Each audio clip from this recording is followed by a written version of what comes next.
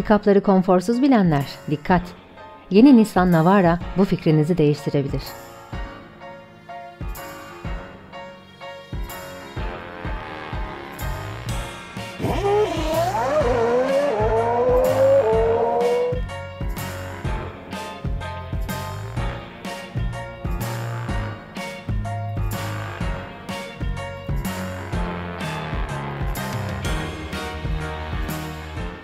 Merhaba.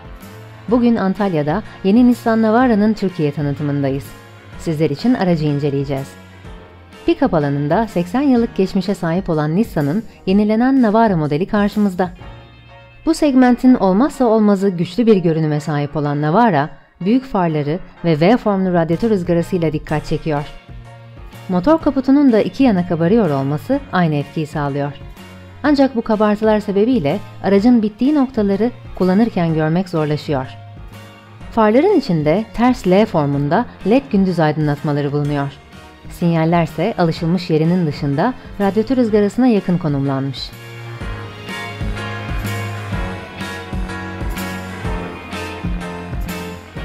Navara'yı yandan incelediğimizde klasik pickup çizgisini görmek mümkün. Kabarık çamurluklar dikkat çekerken artan boyutun kargo alanındaki etkisi fark ediliyor.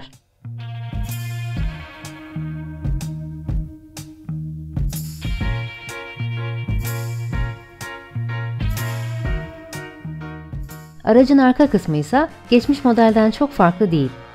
Düz hatların hakim olduğu genel görünümde ince stoplar dikkatlerden kaçmıyor.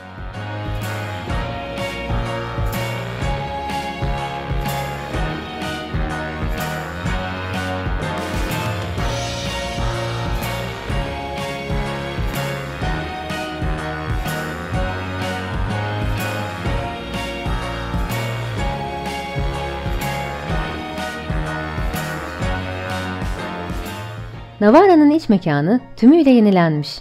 Direksiyon simidi Kaşkay modelinden alınmış. Orta konsoldaki müzik sisteminde de bu modelden esinlenme karşımıza çıkıyor. Malzeme kalitesi ise ticari bir araçtan çok otomobilleri andırıyor.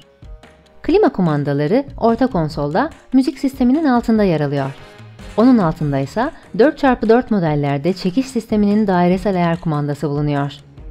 Platinum donanımla birlikte göstergelerin arasında TFT ekran, orta konsolda ise 7 inçlik bir ekran sunuluyor.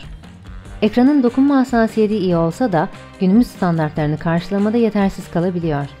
Örneğin navigasyonda iki parmakla yapılan zoom hareketini yapamıyorsunuz.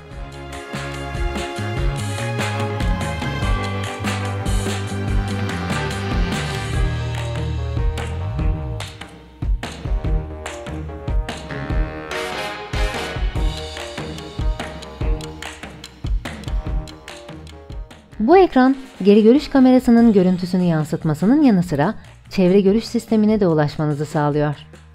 Navara'nın aks aralığı 50 mm kısalmış olsa da iç mekan genişliği azalmamış. Önde alan yeterli. Arkada ise çok uzun değilseniz sorun yaşamanız güç. Fakat ayak konulan zeminin yüksek olması sebebiyle bacaklar tam düz konuma gelmiyor. Bu durum uzun yolculuklarda yorucu olacaktır. Arka koltuk sırasında havalandırma çıkışı sunuluyor olması bu segment için önemli bir detay.